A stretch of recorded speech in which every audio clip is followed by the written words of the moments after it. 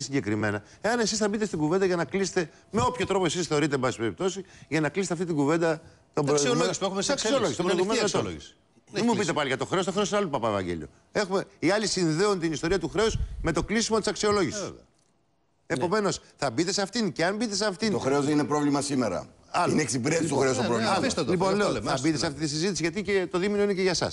Θα μπείτε και αν μπείτε μέχρι ποιου σημείου φτάνετε και πώς αυτό συνδέεται με την άσκηση της πολιτικής Θεσσαλονίκης του προγράμματος του συγκεκριμένου, διότι από εκείνη τα λεφτά. Θα σας πει ο άλλος. Η δικαιολογητική βάση για να μπούμε στο μνημόνιο ήταν το χρέος. Άρα δεν είναι ένα άλλο παπου, Όχι, λέω ότι Ευαγγέλιο. Η Είναι κάτι εξυπηρέτηση πολύ. Οι του άλλοι χρέους το είναι συνδέουν. θέμα στην Το οικονομία. χρέος. Ναι. Το χρέος. Η εξυπηρέτηση του χρέους. Τώρα δεν είναι- Έχει διαφορά. Είχαμε 19 δισεκατομμύρια Λοιπόν, τόπους. τώρα όμως στο όχι, 12, δεν θα και προλάβουμε. έχουμε Δεν θα τώρα προλάβουμε. τέσσερα. Πρέπει να Είναι κλείσουμε διαφορά. δύο λεπτά. Είναι μεγάλη διαφορά. Σύντομα, κύριε Σκουρλέτα. Καταλαβαίνετε τα βασικά το πράγματα χρέος- της οικονομίας. Το χρέος δεν είναι βιώσιμο και έχουμε ένα πρωθυπουργό που λέει ότι είναι βιώσιμο.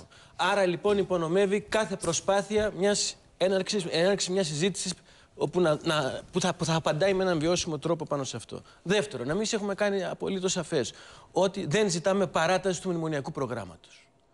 Η παράταση του μνημονιακού προγράμματος σημαίνει συνέχιση των, και των αποτελεσμάτων. Επομένως, η αξιολόγηση των δεν έχει- επιπτώσεων δεν του. έχει για εσάς συνέχεια. επομένως, Δεν θα προχωρήσετε στην επομένως, αξιολόγηση. επομένως, λοιπόν, εμείς δεν επισπεύδουμε, δεν επιδιώκουμε την, το να ολοκληρωθεί αυτή η Αυτή η διαδικασία της αξιολόγηση. αξιολόγησης με την Τρόικα. Και το χρήμα; Είναι μια καταστροφική πολιτική. Έχουμε δει τις επιπτώσεις της, δεν την συνεχίζουμε. Αυτό είναι ένα απόλυτο Αυτό σαφές. δεν είναι μονομερής Αυτό ενέργεια, δεν είναι κύριε μονομερής Σκουρλέτη. ενέργειες. Τι είναι; Δεν απαντήθηκε το κρίσιμο ερώτημα που βάλατε πριν. Εν πάση περιπτώσει, μέχρι πού φτάνει πλέον οι υποχωρήσεις, μέχρι πού φτάνουν οι υποχωρήσεις; Εκ μέρους της Για Ελλάδας. εσά, δηλαδή, το πρόγραμμα τη Θεσσαλονίκη υπάρχει μόνο, κύριε Σκουλέτη, δεν, δεν υπάρχει τίποτα άλλο. απαντήθηκε πριν. Αύριο το πρωί που θα έρθετε, αν έρθετε στην 26 του μηνός, Το πρόγραμμα θα της απαντήσετε με το Θεσσαλονίκης- πρόγραμμα το τη πρόγραμμα της Θεσσαλονίκης. Θεσσαλονίκης που απαντάει σε όλα αυτά τα κρίσιμα που είπατε πριν σε σχέση τους με τον φόρους και τα έμφυα, με λοιπά, τα ναι, κόκκινα εντάξει, δάνεια, με τις ρυθμίσεις, Αυτό είναι με, την- δαπάνες. με την πρώτη Έσοδα δεν μας κατοικία. λέτε. Αυτά Με είναι την δαπάνες. πρώτη Όλα αυτά κατοικία. που λέτε είναι Όλα δαπάνες. αυτά λοιπόν είναι Είναι δαπάνες. ανεξαρτήτω Δεν είναι ανεξαρτήτως έσοδα. Για τα έσοδα των σας ρωτούνε. διαπραγματεύσεων των δανειακών συμβάσεων και του κατανοητό. χρέους. Κατανοητό. Βασίζονται στους Καινούργιες υπάρχοντες δαπάνες, πόρου.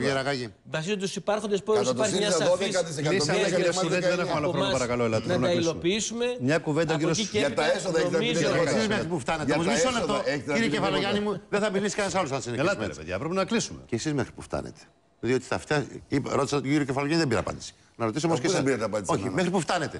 Μείωση των συντάξεων τη δέχεστε; Εγώ σας λέω ότι Ε, εμείς όχι, με τη μείωση των δέχεστε. δαπανών θα, θα, θα αποκαταστούμε Μα τι την συντάξεις. υπερασπίζουν Είναι άλλο οι πράγμα. λοιπόν, το ένα, Την άλλο υπερασπίζουν. το άλλο. Και ο κύριος Και εσείς μέχρι Παπαμεμίκο που και ο φτάνετε. κύριος Κίρτσο Και εσείς, στην λοιπόν, ελληνική τηλεόραση ωραία, την ναι, ναι. προηγούμενη εβδομάδα είπαν ότι είναι υπέρ της μείωσης των ξέρω, συντάξεων. Κύριε Έχετε Σκουλέτη, γι' αυτό έχει ρωτάω. αλλάξει. Είναι υπέρ Μισό- της μείωσης Μισό συντάξεων. λεπτό. Να το γνωρίζουν λοιπόν ο Και εσείς κόσμος μέχρι τι που γι- φτάνετε. τι ρωτάω. λένε. Εγώ ρωτάω τον κύριο Μην Κεφαλογιάννη κρύβονται. μέχρι που Η φτάνετε. αλήθεια δεν Και κρύβεται εσείς έτσι. μέχρι δεν που είναι. φτάνετε όμως. Από την άλλη πλευρά. Το ανάποδο. Και εσείς μέχρι που φτάνετε.